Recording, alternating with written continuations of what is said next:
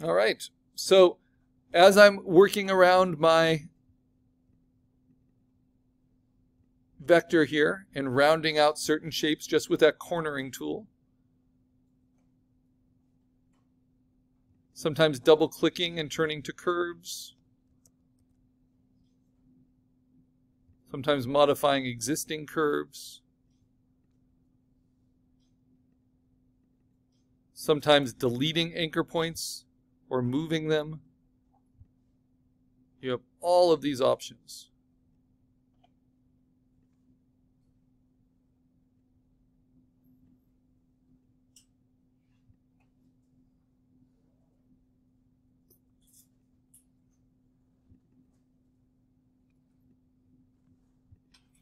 If you ever lose them, remember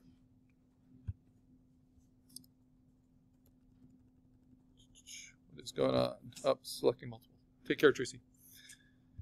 If you ever lose your anchors, just remember double click in the middle of the shape so you can see them all. You have to be able to see the anchors in order to modify them.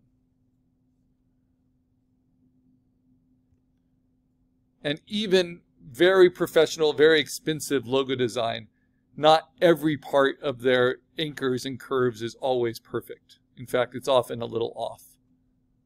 But we do our best. Because that's what these programs allow us to do.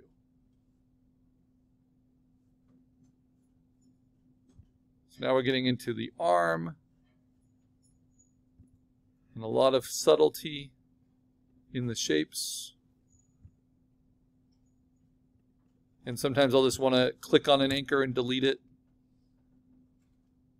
so that I can play more with the shapes.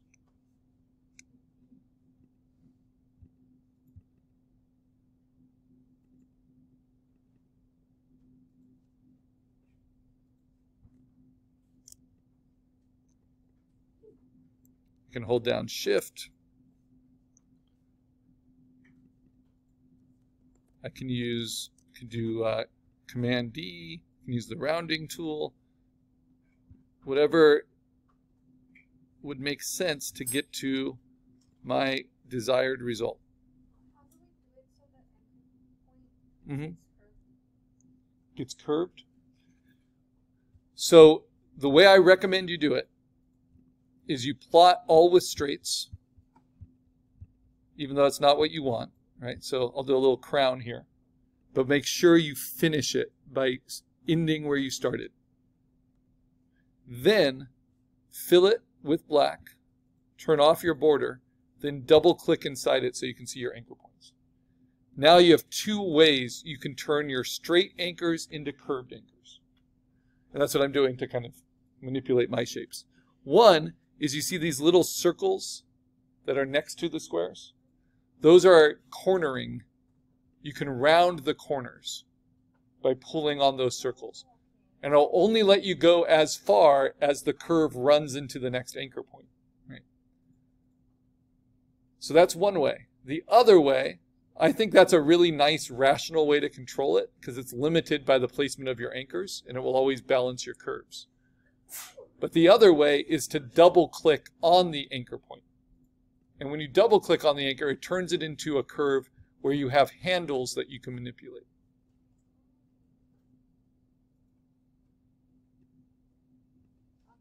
All right. Yeah, no worries.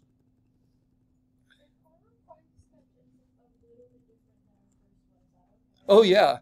Your refined sketch is often going to be improved by your other explorations of sketches and by turning it into black black shapes you often make slightly different decisions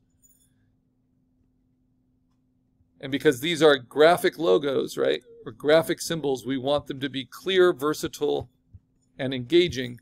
So that means we're trying to get the most out of the simplest black shapes that we can. That's why I'm actually getting rid of some of these anchor points.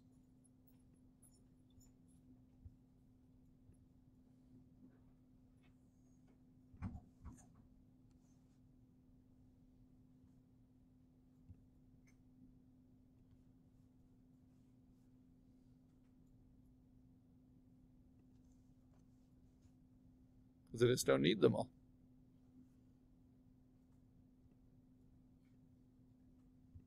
Gonna round out the little paws.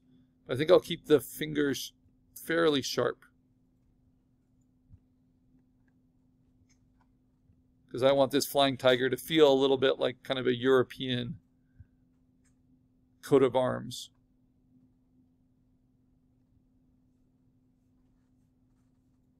Or a Game of Thrones kind of sigil.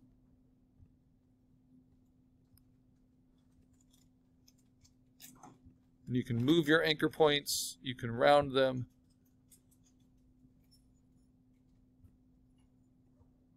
It's just so much easier if you already plotted it with straights. Takes a little bit longer than plotting curves and straights at the same time, but it makes just a lot more sense, especially if you're starting out. And you can get exactly what you want. Yeah.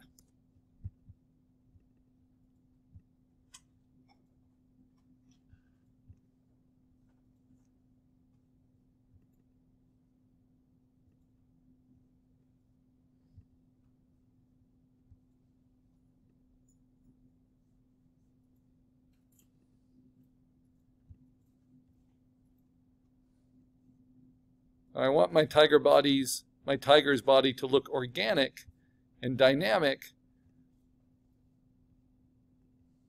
but also kind of powerful and not too goofy, right?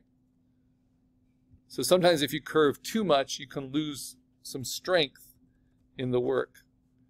And I don't like this vertical that's here. It's kind of an unintentional vertical, so I'm just going to turn that into a diagonal. Then just round that elbow a tiny bit.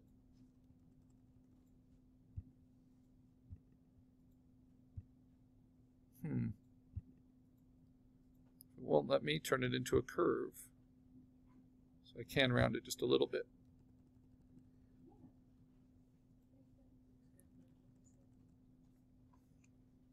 For those of you who are going to like the vector imaging, you're just going to love how clean it's able to make things. Because it can certainly do that.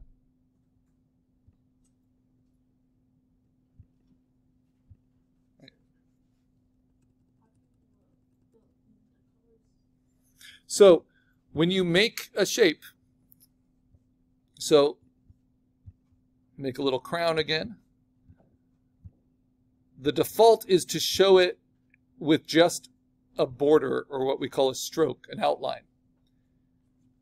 But each path you make has two properties, and they are off on the side. One is the fill, and so you can pick any color, but we're doing everything with black shapes for this. So you use the, the solid 100% black. And then the second is the border, and you want to uncheck the border so it's not there. So I'll, I'll change the color of this border so you can see it. Because you can have both of them turned on in logo design. And maybe you'll want to do that for your color design, who knows. But we got to do our black shape logo first. But what I want for my black shape logo is all your border to be turned off. And for them all to be filled with just black. And since I created this crown, I could even try to incorporate it into the design, right? Maybe tilt it off to the side like this. And then how would I curve just the bottom of it, well, I would double click inside it, create an anchor point, bend it up, and then use the cornering tool to round it.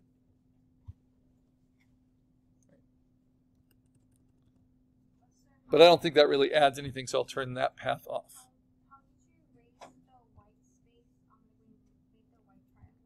Yeah, let me show you. So I'll do it with this this crown. So first you have your base shape. My base shape was the head of the tiger, right? Now I'm going to build other shapes on top of it. And I'll just use the shape tool for it. So I'm going to put little jewels in this crown. So I'm going to use this little hexagon shape. I'm going to make a hexagon. So that I can see it clearly, I'm going to mark it with a color I can see, like red. And I'll turn off, well, the border's already turned off. Great. And then I can angle them, I can shrink them. These are going to be little jewels. Okay, so copy, paste, do another one, and this time I'm going to make it bigger, I'm going to rotate it and I'm going to play with its proportions a little bit.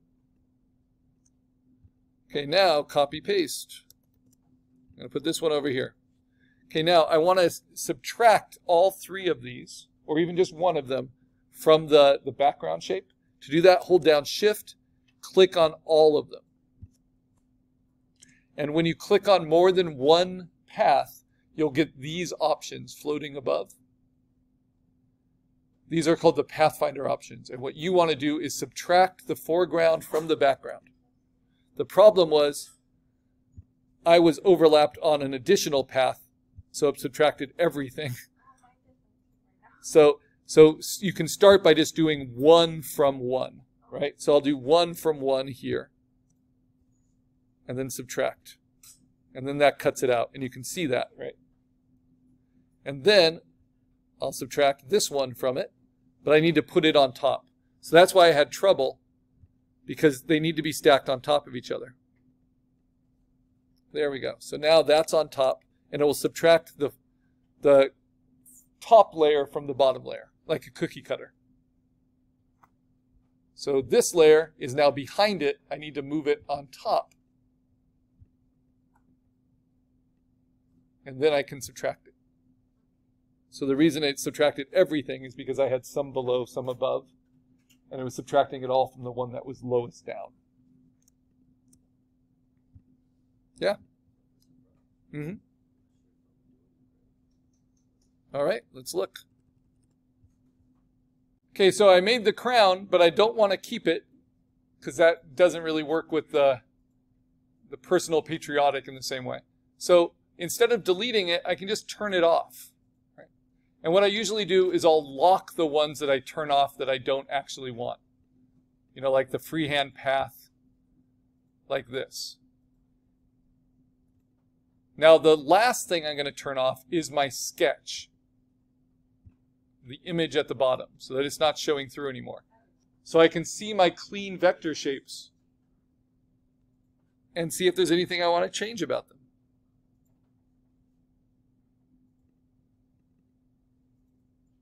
And I could not just manipulate the individual anchors, but if I just click it once instead of double clicking it, I could transform these shapes, right?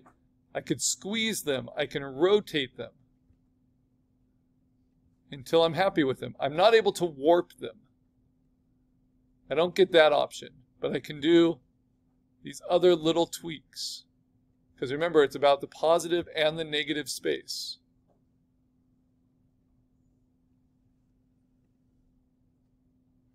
whether that matches your sketch or not. Right? And then you can always redo it.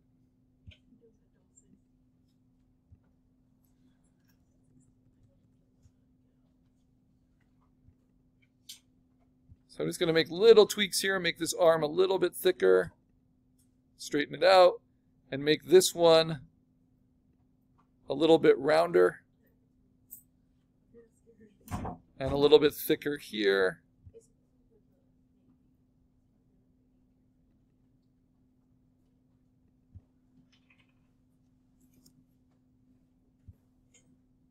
Maybe like that. And then once you're happy with it,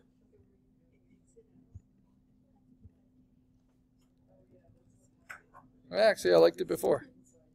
It's tricky.